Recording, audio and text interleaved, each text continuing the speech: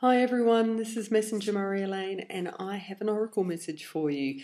Now, um, remember, anytime you're looking for some universal guidance, come along to my YouTube channel, randomly select a previous recording. It could be any one of them because I feel that there's words in there that are going to help you at that point in time. And I'm appreciating the comments from others who have actually come along and tried that and they tell me it's perfect. So that's my role, and I'm, I'm really honoured to do this. So today, let's see what the universe would like you to know. And this card just flew out. So the Raven, magic, coincidence, synchronicities, uh, and events, of course. So that's what this card was all um, confirming about my suggestion. Anytime you want a message, just come along, randomly select maybe it's a number or just scroll up and down and let the universe pick for you. I believe that those words will be perfect for you. Okay, so now let's see what the message is. And we have here mm, the frog. Um, cleaning house, releasing emotional baggage. Okay, so if you're watching this, this is an opportunity for you to um, to release, to let go. Perhaps you're hanging on to something that doesn't serve you anymore. Um, and I'll go out on a limb and say it's probably an old belief that you've been carrying around for a little while now, and this is the universe's subtle way of saying you can let it go. You don't need it anymore. Because whenever we let something go and we end something, we create space for something new to come in. So this little chapter's coming along to say, you don't need me anymore. You don't need that. Um, you've got a different perspective now, so you can um, create new beginnings. Okay, the next card here is oh, the movement card.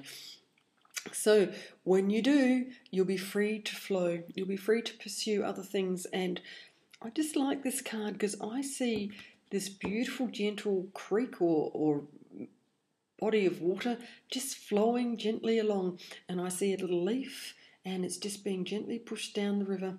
It's not resisting, it's just going with the flow. And I think that if you can do that too, be like a leaf and just allow the current to take you and don't struggle, things will be completely different. And what else have we have here? Oh, okay. This is the risk card, and it's all about taking risks. Um, I heard another reader once say take healthy risks, and so I'll always um, insert that word healthy risks are fine to take. That's how we grow. And if you have any fear or any um, any doubt, I believe it's not the time to do it. And as I've often said to my daughter Ruby, if in doubt, don't. Wait until it feels right. That is the right time to take action. So you might like to remember that. If in doubt, don't. Don't take action. That's um, that's an opportunity for you to clarify your desires, and then you can move forward. And here we go. Here's the last card in this message. Oh, the Bard.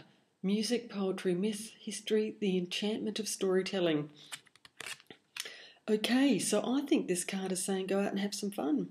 Go and listen to some music. Go and connect with um, uh, a local fete or some sort of um, community event because I think that you know you just to have a light-hearted moment is going to lift your spirits and it's an opportunity for you to detract. what's the word I'm looking for?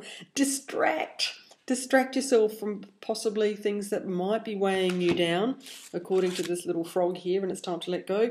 So this will just give you a moment to um, enjoy. But I feel that you know it is like a fete or some sort of community event that um, you're being called to. So look out for one of those and um, go and kick up your heels. Okay, everyone. Thank you very much for watching and listening, and I will see you again very very soon. Oh, by the way, if you're looking for your own universal message. I am on Fiverr and I'm available to do um, some small readings. Okay, thank you. Bye.